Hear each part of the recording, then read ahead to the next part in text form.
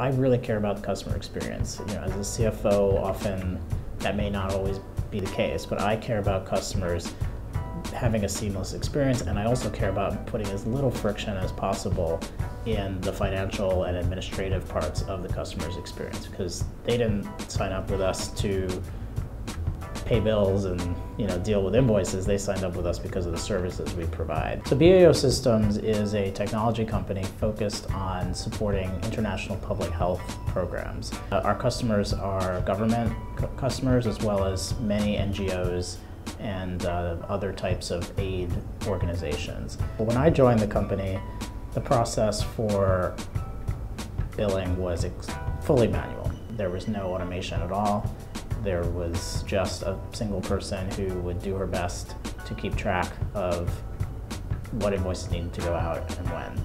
The result of that was, despite her best efforts, uh, a lot of missed billing, a lot of billing errors, uh, a lot of issues where we didn't know, for example, how long somebody's contract was, or things like that.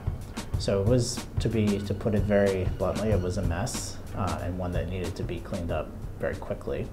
So when I was evaluating what system to put in at BAO, what I was looking for was modern, flexible, easy to use, easy to get up to speed with. And when I spoke with the Ordway team, they were very clear about what the system could accomplish for us. And we evaluated this tool against other tools.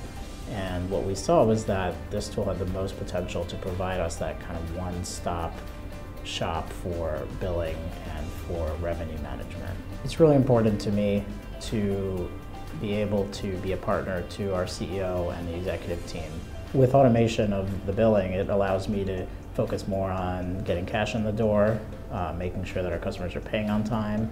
It helps me focus on working on strategic plans, all the things that as a CFO you want to be able to spend all your time on the more I can automate, the more the bills are accurate and have all the uh, special nuances I need for a particular customer, the, the, the, more I can you know, rise above the, the day-to-day and really focus on the big picture. The goal is that we get really good quality data out of this so that we can see things like project level profitability. We can see, for example, which customers are paying on time and which customers maybe we need to work with a little more closely. Um, and at the end of the day, all of this rolls into our accounting and our operational reporting so that we can really understand what's working in the business, what might need to improve over time. Uh, and that's really the goal for me, to get to a place where the data just flows and the billing data ties with the project data and I can see exactly what's going on in the business at any time.